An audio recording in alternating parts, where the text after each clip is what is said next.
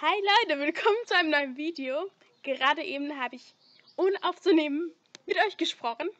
Ja, das kommt vor. Also, erst einmal Entschuldigung, dass wieder ein paar Wochen vergangen sind von meinem letzten Video.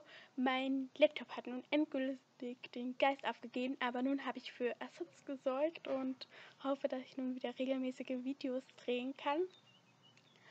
Und zwar möchte ich euch in diesem Video einfach nur informieren über eine Meditations-Challenge, die ich an einem Blog gefunden habe. Und zwar funktioniert die so, dass man täglich E-Mails zugeschickt bekommt, in der einfach beschrieben wird, welche Art von Meditation man durchführen kann.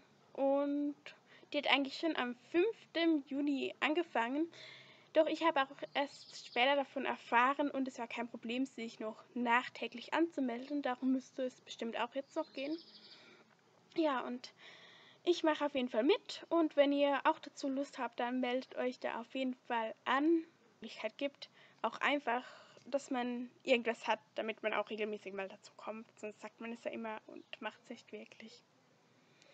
Finde ich diese Idee die derjenige der hatte, ziemlich gut. Ich verlinke euch alles hier unten. Ich weiß nämlich genau, nicht mehr genau, wie derjenige heißt, der das ins Leben gerufen hat.